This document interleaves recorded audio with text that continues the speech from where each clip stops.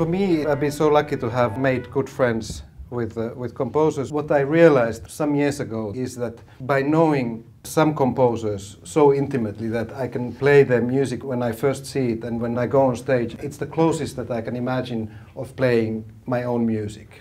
I have this feeling that whatever comes to my mind is probably going to be acceptable to the composer because it comes from such a long experience of that music and personality.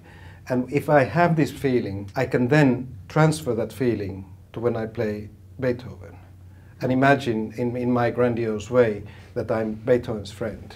We also spoke earlier that all musicians don't like certain kind of notation because what you said, all musicians have their own bow speed and have yeah. their own way of using color and, and, and they don't like to be told yes, how some, to use some their don't bow. like yes yes.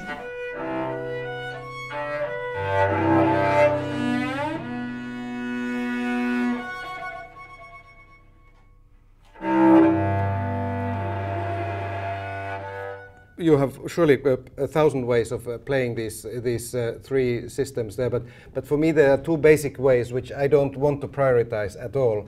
You can either play it a little bit like Mira, you played. You played it very very static. But if you well, when you play it like that, you have to start from the very beginning and show that this is a section.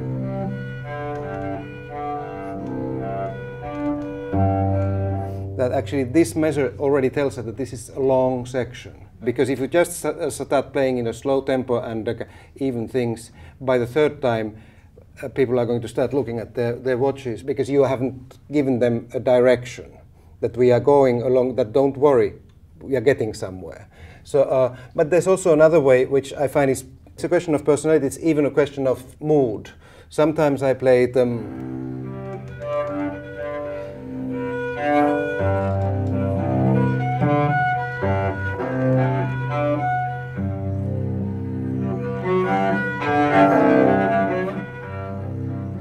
This, in fact, is more probably more within the logic of the papillon thing because now you have the big butterfly and a little bit of wind there which keeps being blown off course every now and then and but but which just still starts uh, still go, goes on. It's about 50 uh, 50 when uh, how I decide and I never know when I start. It's it's something that I like to leave to the uh, to the last last moment but but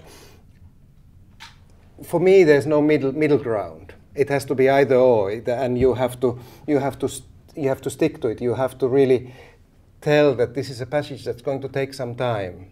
That that uh, we need to get from from here across the what it whatever it is to the other side. It can be that somebody really plays in such a way mm -hmm. that it's so integral part of uh, his or her playing or I don't know. Yeah, I may be an anarchist in that sense, but I, I would say that, that if, if you play something like that, mm. then you are actually telling your story when you play mm. a, a, mm. anything at all. Mm. Mm. And you're not telling the story of each composer.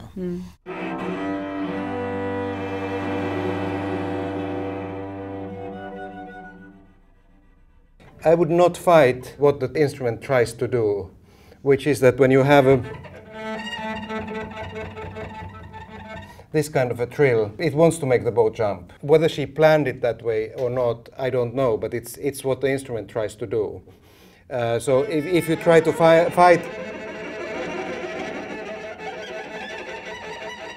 if you try to fight it, okay, you are actually making it sound like, like something is not working. You must not be doing something right. Uh, whereas if you let it uh, just happen the way it happens, um,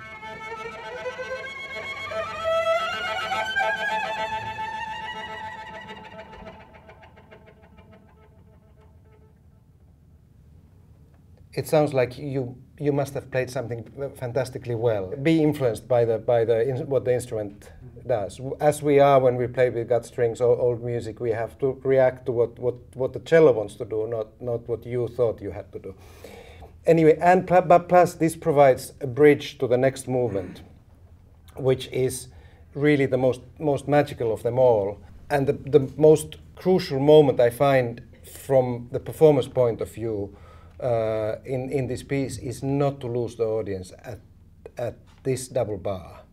That you have to create an atmosphere where you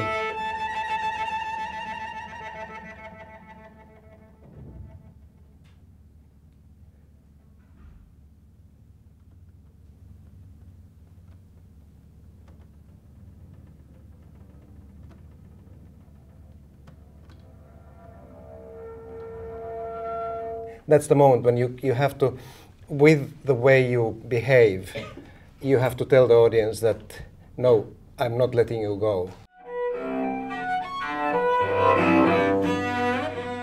I think that, uh, that we have to add our personality to a piece of music, be it Bach, be it uh, be it uh, whatever. But in fact, I think that it's our personality is something that I can never play one note without my personality being in that that note. Therefore, the more I try to take it away, the more it gets in. The more I try to put my personality into something, the more I'm getting in the way of the music.